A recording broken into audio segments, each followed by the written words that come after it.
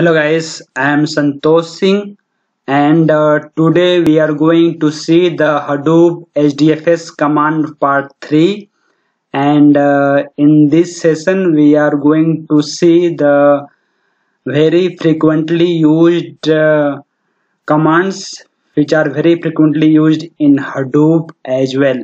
So welcome to my channel and let's see those things one by one so in so first of all we see the wc command. What wc command do and how it is used? Wc command is also used for multiple purpose. As we have seen that cat command used for multiple purpose like this way wc command is also used for multiple purpose so let's see how it is used. As we as we are seeing that wc space option space file name.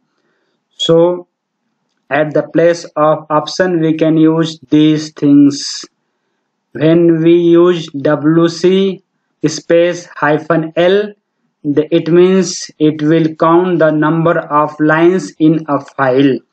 Or we can use wc space hyphen L or we can use WC space hyphen hyphen lines. These both things are same. Either we can use WC hyphen L or we can use WC hyphen hyphen lines. These both things will give the number of lines in a file. We will see these things one by one in next slide. So now let's see the next things in wc command. W when we use wc hyphen w or wc hyphen hyphen word then it is used for count number of words in a file. If anyone asks you that how we count how many number of words in a file then you can say we can count by wc hyphen w or we can use wc hyphen hyphen words command. By this way we can count the number of words in a file. Now next things how we count bytes in a file that of how many byte in a file occur. So we can count the number of bytes in a file by using wc space hyphen c. Or we can use wc space hyphen hyphen bytes. By both way we can count the number of bytes in a file. So like this way if anyone asks that how you count the number of characters from a file then you can say we can count number of characters from a file by using wc space hyphen m or we can say that and another way we can use wc space hyphen hyphen chars by this way by using wc hyphen m or wc hyphen hyphen char by this way we can use the number of character from a file. And if anyone asks that how you find the longest length of a line in a file? That what is the length of longest line in a file? Then you can say we can use these things. Wc space hyphen capital l. Wc space hyphen capital l or we can use wc space hyphen hyphen max hyphen line hyphen length. By this way we can calculate the length of the longest line in a file. So guys as we are seeing that wc command is used for multiple purpose. So let's see some example on wc commands suppose we are going to count the number of lines in a file then we can use like that wc space hyphen l space file name. Or we can use wc space hyphen hyphen lines space file name. This these both th things will give the number of lines available in this file. Either we use wc hyphen l or we use wc hyphen hyphen lines. So as we are seeing that these these things we can use these things or we can use these things. These both things are same. This is the short form and this is some long form of calculating different things in a file so now let's see the next things. Wc hyphen w space file name. So like this way we can display the number of words in the file. And now see some practical things. We will see that how these command work. So now let's see those things. So as we are seeing that cat space crick1.txt and when we enter then this file display the content of this file. We can see the content of this file on terminal that this file have one two three four and five lines.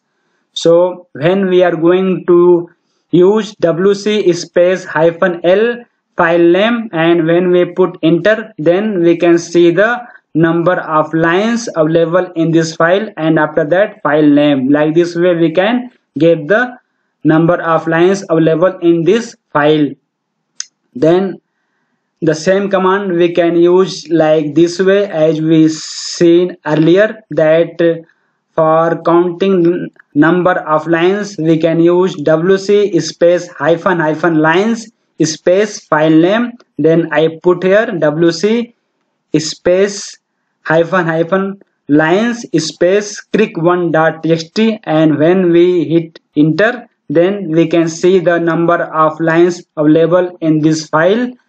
And after that file name. And as we are seeing that this file have one two three four five. Five lines this file have. So so we are seeing that five five lines available in this file. And now see the next things in wc command. When we use wc space hyphen w space crick1.txt file and when we press enter then we can see the number of word available in this file and after that file name. As we are seeing that this file have one two three four five this file have five lines and this file have five word also. So we are seeing here that uh, after writing command wc space w we can see the five. It means this file have five word. And we can write this command this way also wc space hyphen hyphen words space crick1.txt and when we put enter then we can see the same things means number of word and after that file name. Now let's see the next things. We can see wc space hyphen c space file name. Why we use hyphen c? As we see earlier that hyphen c is used for count bytes in a file. Or we can use hyphen c or we can use hyphen hyphen bytes. So if we would like to count number of bytes in a file then we, we can use wc hyphen c. So we can see here wc space hyphen c space file name. And when we press enter then we can see the number of bytes available in this file. So like this way we can count the number of bytes in this file. Or we can use wc space hyphen hyphen bytes space file name. So uh, here I used wc space hyphen hyphen bytes space crick1.txt uh, number of bytes and after that file name I am trying to elaborate these both things. Like for counting number we can use hyphen L or we can use hyphen lines. For counting words we can use hyphen W or we can use hyphen hyphen words. For counting bytes we can use hyphen C or we can use hyphen hyphen bytes. Like this for counting number of uh, characters we can use wc space hyphen m space file name. So it will return the number of character available in the file. So as we are seeing that this file gives the 34 number of character and this file gives the 34 number of bytes. These both are same.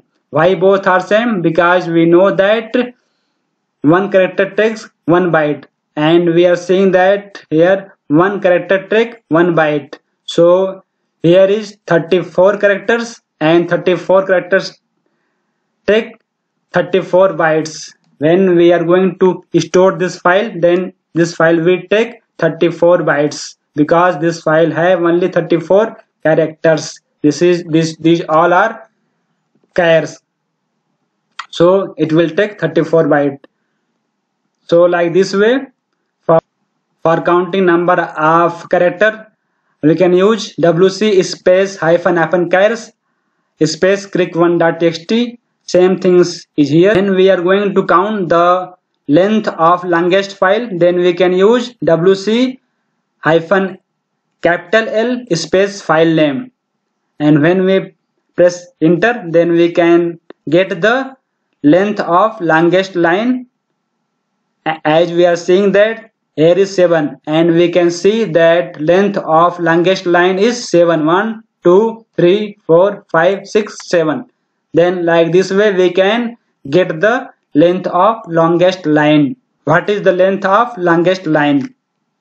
Or we can use same command like this way. Wc space hyphen hyphen max hyphen line hyphen length space file name. So this is again display the 7 it means the length of longest line and after that file name. So going to see the touch and apt get command how to create an empty file. How to create an empty file. So we can create an empty file by using touch command. By using touch command we can create an empty file. How it is used? It can be used touch space file name. Then it will create an empty file. Touch command creating an empty file. If file already exists touch will update its timestamp now let's see the apt gets command. This command is very frequently used in hadoop as well because when we are going to install a package or anything then we need to use this command apt get command. That's why i put this command as well here that uh, how it is used. So for install new software packages upgrade and removal of the packages. It is a powerful and free front-end package manager for debian or ubuntu systems. So when you are going to install anything then you should write like this way sudo space apt hyphen get space the package name. When you put here the package name then that package will be installed on your system. But here I do not install any package. That's why I do not put any package name here. Suppose you install a package and after installing a package you need to upgrade those package. So for upgrading those packet you need to write apt get command like this way. sudo space apt get space update. So it will update all those package. So to upgrade all install packages use the apt-get upgrade command. So we can use like this way. sudo space apt-get space update. It will update the install packages. Now let's see the next things. Use the hyphen u option to display the complete list of packages which will be upgraded. You want to see the list of those packages which apt get command upgraded. The sudo space apt hyphen get space hyphen u space update. When we use space hyphen u then it will display the upgraded list of packages so now let's see the next things. Next things is the question and answer. First question is what does sudo means? So answer is sudo command allow a user with proper permission to execute a commands as another user such as super user. So sudo command allow a user with proper permission to execute a command as a another user such as super user Sudo is an abbreviation of super user do. So sudo what do? Sudo allow a user to execute a command with proper permissions. It means when you use sudo command before a command then and do any task then it will work like super user. That's why when we use apt hyphen get command then before apt hyphen get command we use the sudo because for installing or for upgrading any package we need administrative permission. So for installing anything when we are going to use apt-get then we should use sudo. So let's see the next question. What is sudo install? The apt-get install command is usually to be prepended by sudo which essentially means that you need to run the command with elevated privileges as root or super user this is a security requirement as apt-get install effects install affects the system files while installing packages. So guys like this way whenever you are going to install any package or anything then you need sudo. So this is all about in part 3 we will see the next things in next session. Thank you so much. Thanks for watching.